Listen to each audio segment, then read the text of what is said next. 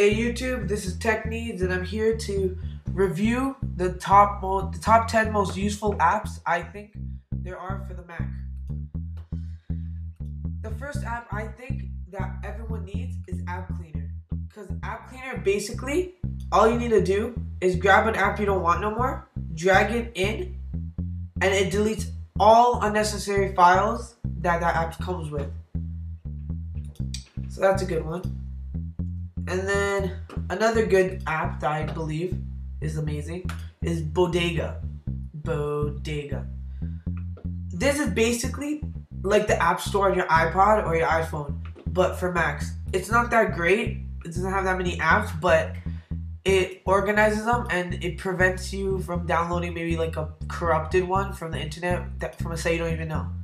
See, you have all these different categories Uh, different apps. Some you have to pay for, some are free. And yeah, the next app I'm going to be telling you guys about is Caffeine. Caffeine, I think, is like really useful for MacBooks mostly because how many times does your MacBook go to sleep while you're watching a movie or something? A lot, probably. And caffeine basically it keeps your Windows running. It keeps it keeps it from going to sleep or from the screen dimming. It's this symbol up here, and when you press it, when the coffee's there and it's hot, that means that your computer isn't going to fall asleep or the the screen's not going to dim. And you press it, turn it off. The next app is GetTube basically it's to get videos off YouTube. But that's basically it. So you just search the video and you download. It's really simple and it's really good. Like I really like it. I use it a lot. Then the next application is Handbrake. Handbrake basically is to rip the DVDs onto your computer. Even if it's scripted or anything, it'll just put the whole DVD on your computer. Any movie, it's it's pretty good. I, I really like it. Another good downloaded app that I have is OpenOffice. It's basically Microsoft Office, but it's free. And it has everything Microsoft Office has. It has text document. Let's open. It's exactly the same as Microsoft Office, basically. Then it has um, it has a presentation like slideshow presentations too, PowerPoints. And as you can see, it's basically the exact same thing as Microsoft Office. Like there's no big difference. The next app I'm going to be talking about is RightZoom, which basically is so that, for example, you know when you have a screen open, for example, let's open Safari.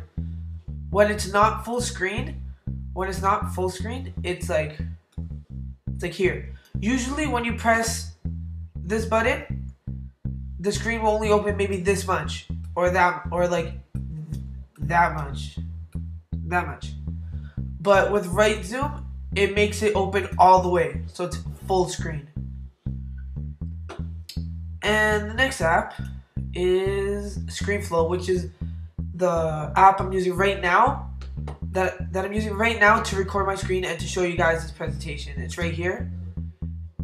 Right here. Basically, I can stop it, pause it, hide desktop. I can do a lot of things with this.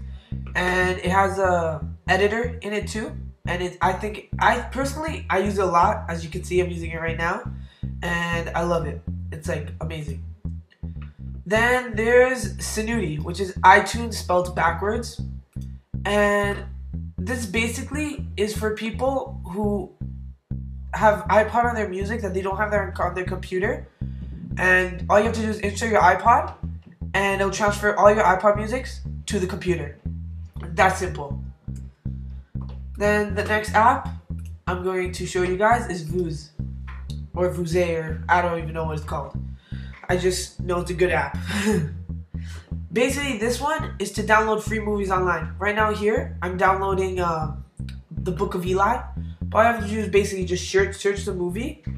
Let's say Step Brothers, and it finds it, and then you you go look for it. It's pretty fast. It's not slow at all. See, you just go and then you gotta find the right one, and then you download it. I think it's pretty good. then